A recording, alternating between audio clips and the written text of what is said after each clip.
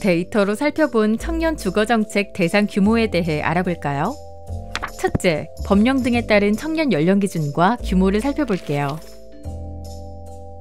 청년은 법령에 따라 연령의 상한을 29세 이하, 34세 이하, 39세 이하로 각각 다르게 규정하고 있어요.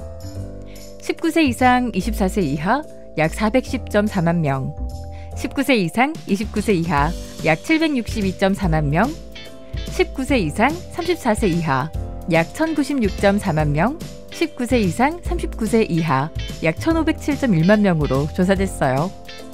둘째, 연령대별 청년의 혼인 및 부모와 분가, 동거 비율을 살펴볼까요?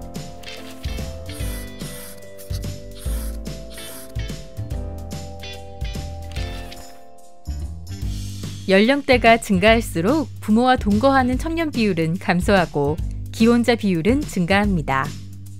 또한 부모와 비동거 상태인 청년 비율이 감소하고 기혼자 비율이 증가함에 따라 부모에게서 분가한 청년 비율도 25세에서 29세 이후엔 점차 줄어들어요.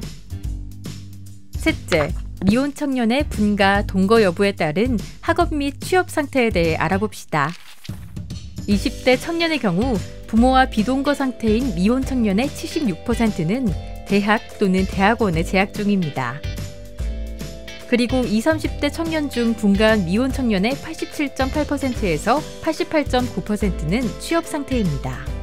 마지막으로 혼인 분가 여부에 따른 청년 주거 지원 정책 대상을 살펴볼게요. 청년 주거 정책의 우선적인 지원 대상은 부모와 일시적으로 비동거 상태인 청년과 부모와 분가하여 임차로 거주하고 있는 청년을 합하여 약 250만 명으로 추정됩니다. 부모와 일시적으로 비동거 상태인 청년의 경우에는 대학 또는 대학원 재학 중인 20대 청년이 33만 명으로 약 70%의 가장 높은 비중을 차지합니다.